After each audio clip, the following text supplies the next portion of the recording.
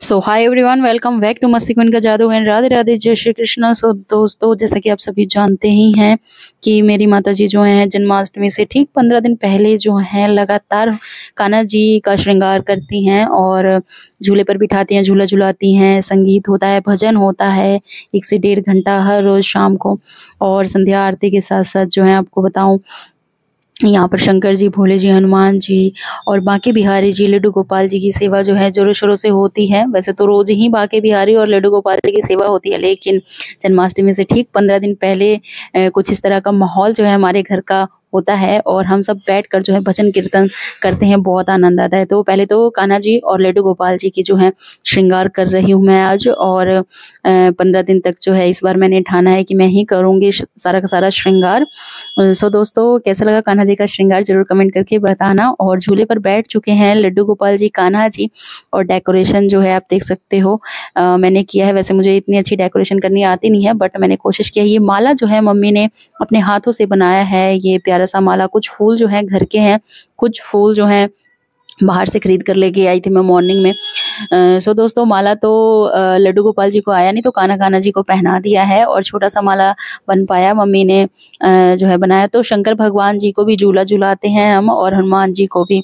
ये भजन तो आपने सुना ही होगा कि राम झूले लक्ष्मण झूले झूले त्रिपुरारी राधा रानी, झूला झूले, ये वाला जो है एक भजन पूरा आता नहीं मुझे तो सब झूला झूल रहे हैं इस वक्त और झूले का आनंद जो है ले रहे हैं और हम भी भजन कीर्तन जो है लगातार कर रहे हैं, जो कि अपने आप में काफ़ी काफ़ी काफ़ी ज़्यादा मज़ा आ रहा है। सो दोस्तों, ये जो वस्त्र है ना, कान्हा जी का और मुकुट और बांसुरी और भगवान जी के बाल, ये वृंदावन से लेकर आई थी मैं बड़े ही प्यार से जन्माष्टमी पर, पिछले जन्माष्टमी पर जब वृंदावन गई थी मैं, तब लेकर आई थी और जैसा मैंने इमेजिन किया था ना कान्हा जी को कि कान्हा जी ऐसे लगेंगे पहनने के बाद मेरे लड्डू गोपाल जी ऐसे लगेंगे पहनने के बाद तो ठीक वैसे ही लग रहे हैं। मेरे इमेजिनेशन से काफ़ी ज़्यादा अच्छे लग रहे हैं देखने में। आ, सो दोस्तों नीचे की साइड भी फूल गुलाब के फूल जो हैं बिछाए थे और उस पर कान्हा जी को बिठाया है। ये जो झूला है मम्मी लेकर आई है आ, इस बार जन्माष्टमी पर तो इस पर बहुत बड़ा झूला जो है लिया है मम्मी ने। और ये जो झूला पड़ा था हमें साढ़े ग्यारह सौ का पड़ा था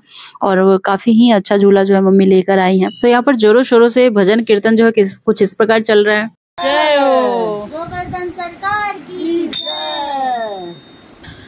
सो so, दोस्तों यहाँ पर जो है कम से कम मम्मी रोज के रोज जब हम बैठते हैं जन्माष्टमी से पंद्रह दिन पहले तो मम्मी जो है ठीक दस से बारह दस नहीं सात या फिर दस ये काउंटिंग है भजन की।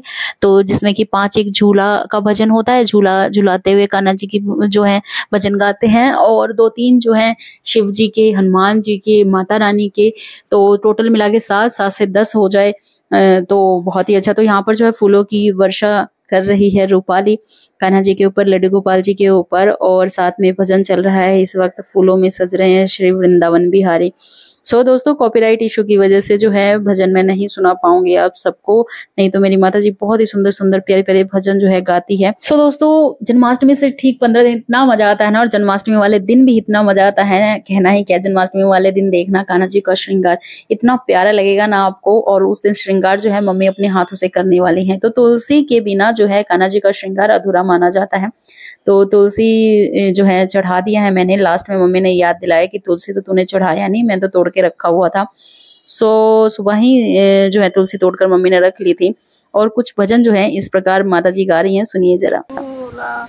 लगी कदम की दाढ़ी झूलत सो so, दोस्तों कान्हा जी को सजाने की कोशिश की है श्रृंगार करने की कोशिश की है मैंने तो कमेंट करके बताना आपको कैसा लगा। और दोस्तों कमेंट सेक्शन में अब तक जिन लोगों ने राधे राधे नहीं लिखा है तो राधे राधे ज़रूर लिख डालना और जन्माष्टमी वाला ब्लॉग देखना मत भूलना देखना ज़रूर। आप आपको बहुत बहुत बहुत मज़ा आएगा दोस्तों। सो so, दोस्तों मस्ती क्वीन का जादू चैनल को अब तक जिन लोगों ने सब्सक्राइब नहीं किया तो प्लीज़ सब्सक्राइब ज़रूर कर लेना और साथ ही बेल नोटिफिकेशन ऑल पे भी ज़रूर प्रेस कर लेना।